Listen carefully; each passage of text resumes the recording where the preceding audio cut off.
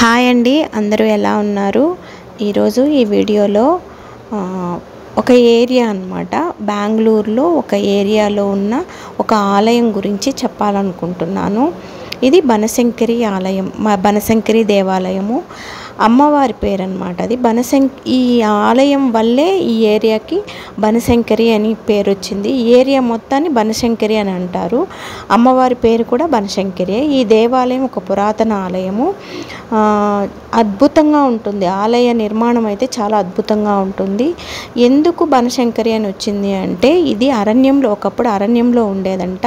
అందుకని ఈ ఆలయాన్ని బనశంకరి అంటే వనశంకరి. బనశంకరి వన అంటే కన్నడలో కొంచెం ఏస ఉంటుంది. వనశంకరి లేదా బనశంకరి అని పిలిచేవాళ్ళు.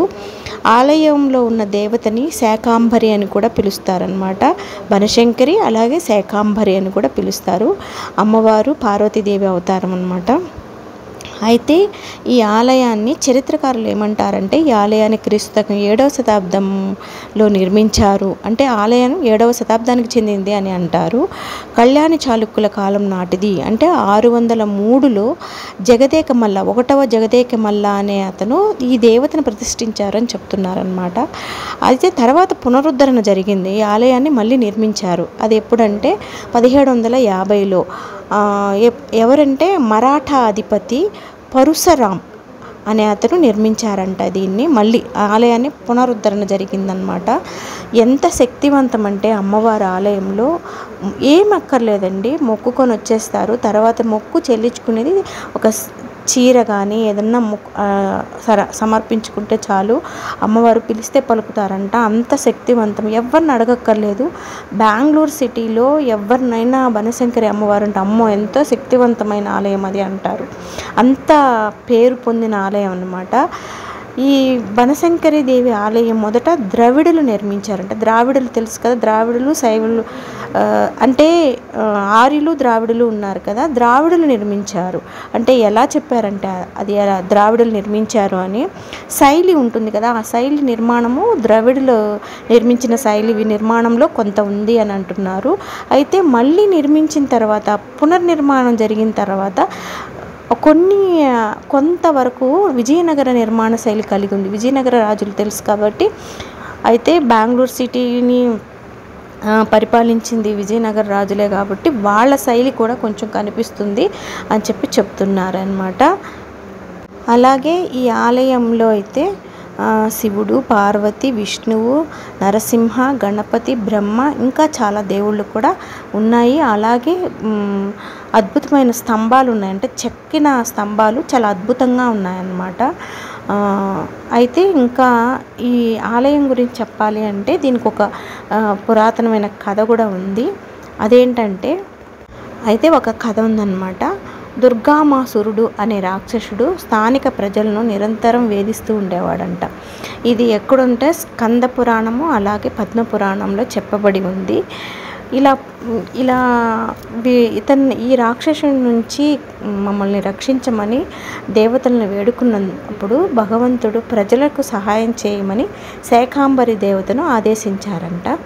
ఆమె శేఖాంబరి ఎక్కడ యజ్ఞంలో ఉన్న మంట రూపంలో యజ్ఞంలో ఉన్న అగ్ని ద్వారా కనిపించి భీకర యుద్ధం తర్వాత అంటే ఆ మంట ద్వారా వచ్చి అమ్మవారు భీకర యుద్ధం జరిగిందంట ఇద్దరికి. తర్వాత రాక్షసుని చంపిందని ఈ ప్రాంతంలోనే చంపేసిన తర్వాత ఈ ప్రాంతంలోనే శాంతిని పునరుద్ధరించింది అని చెప్పి ఇక్కడ వాళ్ళంతా చెప్తున్నారు. అయితే ఈ బనశంకరి అనే అమ్మవారు శివుని భార్య అయిన పార్వతీదేవి అవతారం అని అంటున్నారు. చాలా శక్తివంతమైన ఆలయం అయితే. నాకు తెలిసినంత వరకు ఈ టెంపుల్ యొక్క హిస్టరీని అయితే మీకు తెలియజేశాను. ఇంకా చాలామంది చాలా రకాలుగా చెప్తున్నారు. అమ్మవారికి చాలా రూపాలు ఉన్నాయని అమ్మవారిని చాలా రకాలుగా పిలుస్తారని. ఇక్కడ చుట్టుపక్కల వాళ్ళంతా కన్నడ వాళ్ళు. వాళ్ళ లాంగ్వేజ్లో వాళ్ళు చెప్పింది ఏంటంటే ఈ ఆలయంలో ఉన్న అమ్మవారిని ఎలా అయినా పిలుచుకుంటారు. బాలవ్వ బానదవ్వ కవ్వ శరవంతి చౌడమ్మ వనదుర్గే ఇలా చాలా రకాలుగా వనశంకరి అంటే వనంలో వెలసింది కాబట్టి మనకి మామూలుగా వన వనశంకరి అనాలి వీళ్ళు బనశంకరి అని అంటారనమాట చాలా అద్భుతమైన ఆలయం అండి. అమ్మవారిని అయితే లోపల నేను చూపించలేకపోయాను. బయట నుంచి ట్రై చేశాను చూపించడానికి. ఇక్కడ అన్నప్రసాదం కూడా పెడతారు. ఓపెన్ ప్లేస్లోనే పెడతారు. ప- పళ్ళాలన్నీ బయటే కనిపిస్తున్నాయి కదా.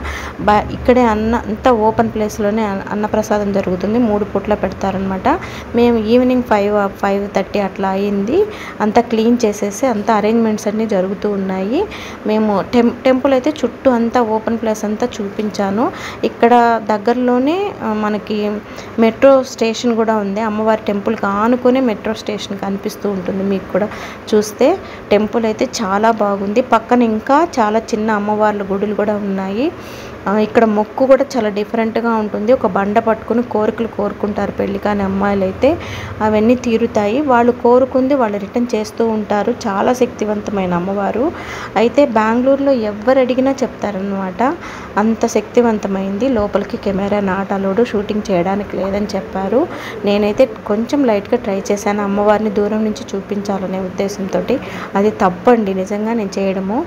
కానీ అమ్మవారిని చూస్తే మీరు కూడా చూస్తారు కదా ఉద్దేశంతో నేను బయట నుంచి తీశాను. వీడియో అయితే పెద్దదే అని చెప్పాలి. నైన్ మినిట్స్ దాకా ఉంది. మీరు ఎంతవరకు చూడగలిగితే అంతవరకు చూడండి. Thank you so much friends.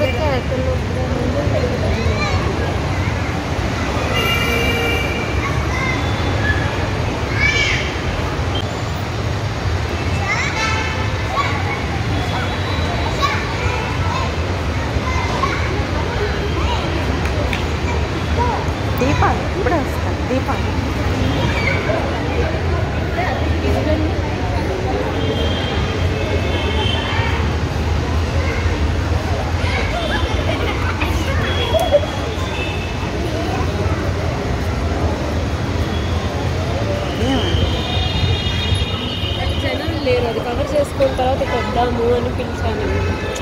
ఇప్పుడు రోజు.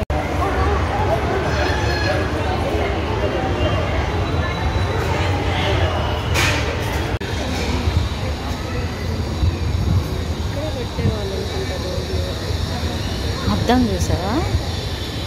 అద్దంలో అమ్మవారు. ఎందుకు పెట్టారు?